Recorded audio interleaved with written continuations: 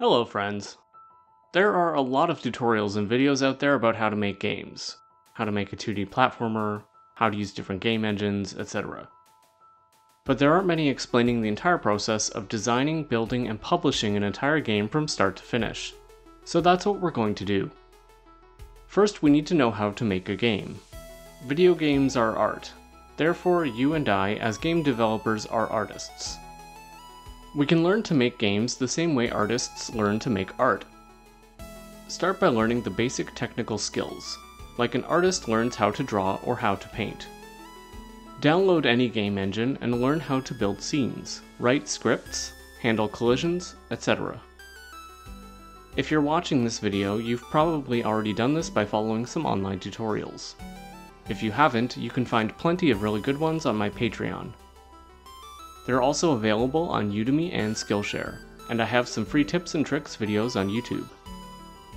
Copy masterworks of famous artists. Like an artist learns about Vincent van Gogh by recreating The Starry Night. Create clones of simple yet masterfully designed games, like Tetris, Snake, Flappy Bird, or Pac-Man. These will help you understand more complex game mechanics and designs, you can typically follow tutorials for this step too. Produce an original piece in the style of a famous artist.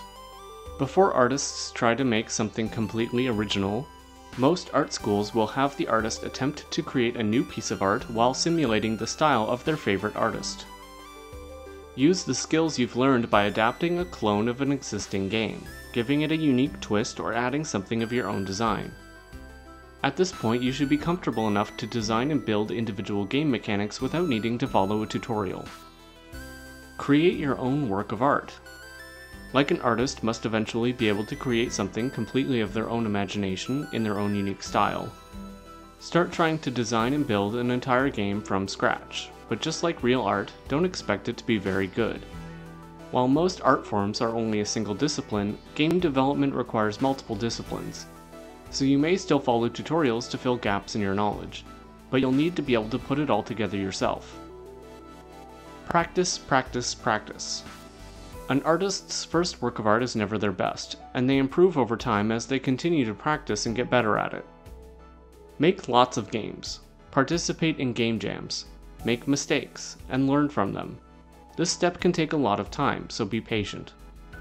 A lot of what you make won't be very good, but it all serves the purpose of improving your skills. Create a masterpiece. Like an artist earning a master's degree would produce a masterwork or capstone project to prove their expertise.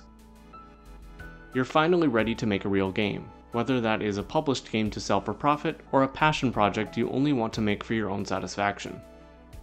Whatever you choose to make, it should prove to the world that you are a master of your craft. Step 5 or 6 is ideally where you should be in your game development journey to benefit most from this series. Throughout these videos, we'll go through the entire process of publishing a game from conceptualization to release. Starting with coming up with an idea for your game, building a prototype, planning and executing the production, playtesting, and finally publishing the game. This is not likely to be a linear process though, more of an iterative one. You may reach the prototype stage and find out that your idea wasn't very fun and start over. Or you may start playtesting your game and respond to feedback by returning to the prototyping stage to rework the core mechanic of your game. But if we keep at it, we'll eventually make it to the end and publish our game. In the next video, we'll decide what kind of game we should make. I'll see you in the next video.